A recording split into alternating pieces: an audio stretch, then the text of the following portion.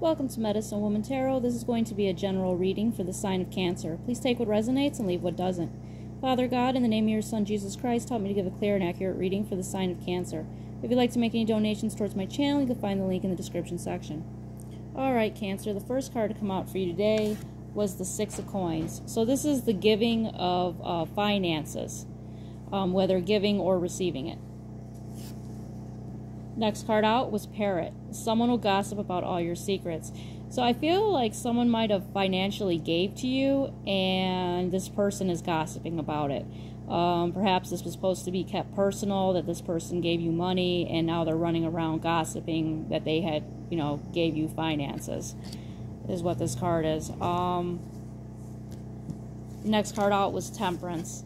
You know, there needs to be uh, balance so this can be taken two ways. Either there needs to be balance or there is balance. And I'm picking up there is balance here with the temperance card uh, due to the clarifiers. So your balance, despite all this gossip and slander on your name, you are very balanced right now.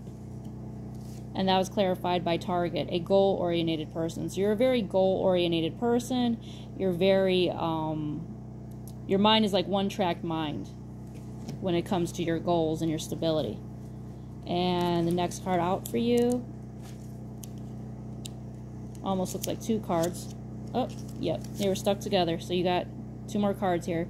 Uh, bread, period of prosperity and abundance. You're going to be receiving lots of financial blessings and abundance here.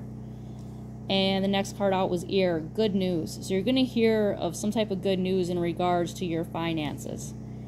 And we will get an angel card out for you as well.